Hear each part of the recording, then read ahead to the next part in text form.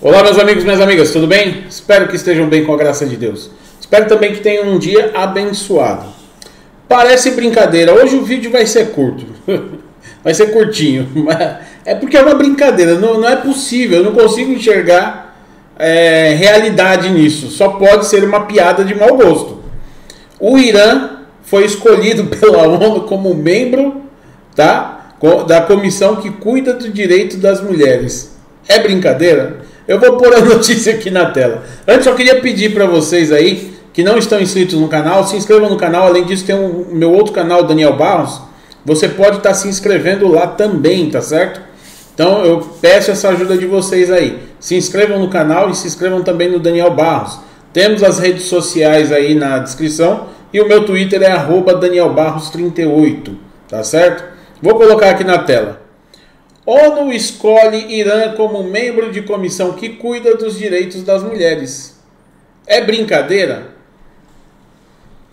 Nesta quinta-feira, o Conselho Econômico Social das Nações Unidas escolheu o Irã como novo membro da Comissão das Nações Unidas sobre a situação das mulheres.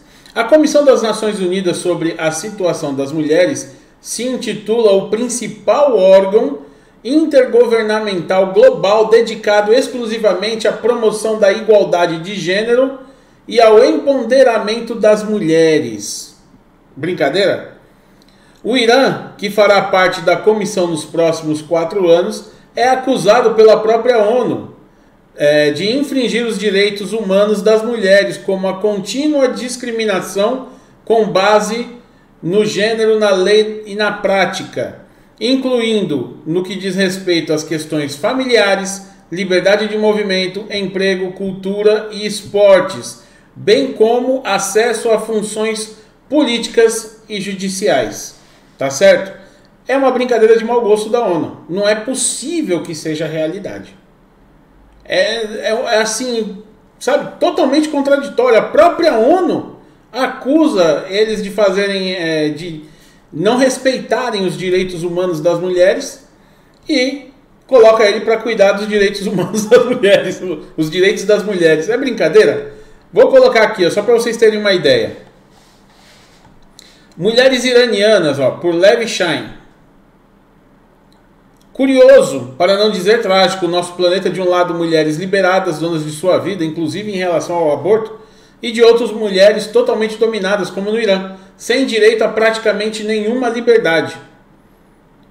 Uzay Bulut, jornalista turca que colabora com o Instituto Gatestone, uh, fala sobre esses paradoxos em sua defesa pelo direito das mulheres iranianas, que são tratadas, segundo suas palavras, como escravas há 49 anos, desde a tomada do poder pelos radicais islâmicos do Irã em 79. Ao usar as palavras, ela produziu os comentários da jornalista iraniana-americana premiada ativista Masish Alinejad. O uso compulsório do véu muçulmano está na lei e precisa ser obedecido. Dizem as autoridades do Irã. Então temos que contestar essas leis ruins e alterá-las. Fica claro que essa e outras ativistas dos direitos humanos no Irã pedem uma só coisa ao mundo: que a comunidade internacional tenha coragem de deslegitimar a lei religiosa e criticar abertamente a sua natureza tirânica, assim como o mundo livre deslegitimou o comunismo durante a Guerra Fria. Deveria fazer o mesmo com a lei religiosa, nas palavras de Nasrin Mohamed, autora do livro Ideas and Yashas. Então, vocês vejam bem, são, são mulheres que são consideradas aí sem liberdade praticamente de nada. Você vê elas, por exemplo, para jogarem, praticarem algum esporte, elas têm de estar inteiramente cobertas. Muitas vezes torna impossível que alguma delas saia vencedoras, justamente por conta do uniforme. Sabe? Jogar toda coberta, cabeça, braços. Isso é desumano. Elas não podem praticar um esporte. Tá? Há bem pouco tempo, três mulheres iranianas foram presas e condenadas no Irã por não estarem usando véu muçulmano nas ruas. Elas foram condenadas a mais de 10 anos de prisão por desafiarem o Código Islâmico da Lei da Vestimenta Obrigatória para Mulheres.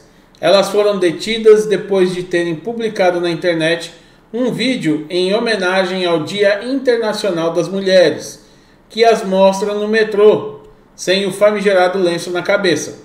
Ou seja, com os cabelos ao vento, distribuindo alegremente flores às passageiras no metrô. Em um determinado momento, pode-se escutar uma delas dizendo que haveria de chegar um dia em que as mulheres não seriam mais forçadas a lutar, e outra que manifestava a sua esperança que um dia as mulheres usando lenço na cabeça pudessem andar lado a lado com aquelas que optarem por não usá-lo. Tá? Então isso é só um, uma pequena amostra de como elas são oprimidas no Irã. E aí vem a ONU, com a sua sapiência, a ONU que critica é, diversos países, critica o Brasil, que condena o próprio Irã, acusa o próprio Irã de não cumprir, é, de não respeitar os direitos das mulheres, coloca ele para cuidar de uma comissão dos direitos da mulher, das mulheres. Adivinha o que vai acontecer? Aí vão os esquerdinhas. É, não, mas vocês tentam entender que lá é cultural. Sempre tem uma explicação para a boçalidade. Desde que essa boçalidade seja a favor deles. Aí tem uma explicação, tem uma conjuntura, tem a questão cultural, tem tudo. Tudo aquilo, eles, eles querem só a narrativa, o que interessa a eles. Então, se o Irã está apoiando os países comunistas, como apoia, como tem acordo com a China, então eles vão falar bem. Você não vê os esquerdinhas falando mal do Irã. Pelo contrário, aqui no Brasil você vê fazendo protestos a favor do Irã. É impressionante, mas é verdade. É tudo falácia a parte deles. Tudo mentira. Eles não são a favor das mulheres, eles são a favor do que é a favor deles. Eles não lutam pelos direitos das mulheres, não lutam pelos direitos de minorias. Só fazem aquela hipocrisia toda na televisão para aparecer e para angariar mais gado para eles manobrarem, mais massa de manobra.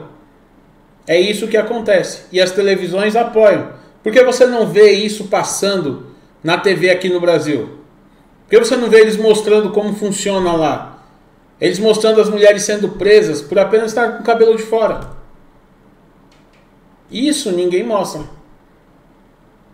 Então eu acho que devia haver pelo menos um consenso, uma, uh, uh, eu diria, né, não consigo achar a palavra, me fugiu a palavra aqui agora, que é, é realmente difícil, é ultrajante você ver o Irã ocupar um cargo desse. É como a China ocupando uma cadeira na Comissão de Direitos Humanos.